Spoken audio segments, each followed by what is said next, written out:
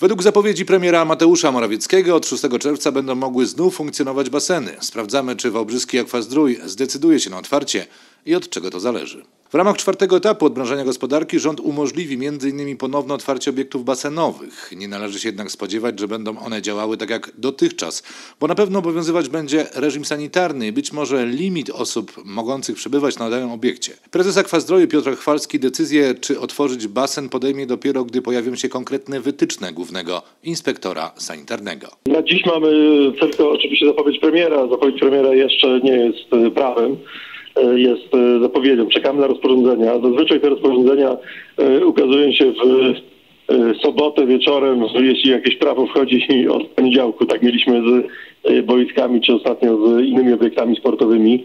My bez e, szczegółowych, poznania szczegółowych warunków oczywiście nie jesteśmy gotowi e, podjąć takich kroków. Z całą pewnością istotne będzie to, co będzie zapisane w tych e, szczegółowych przepisach odnośnie liczby osób, które mogą wejść na obiekt, mówiąc krótko, czy będzie to opłacalne e, taki obiekt otwierać, bo gdy okaże się, że e, na basenie może przebywać, e, nie wiem, 20 osób, to w tej sytuacji otwarcie całego kompleksu dla tak małej liczby osób jest, mówiąc krótko, głęboko nierentowne. Przypominamy, że Akwazdrój jest spółką miejską, która najbardziej odczuła skutki pandemii. By ratować miejsca pracy, obniżono pensję większości pracowników.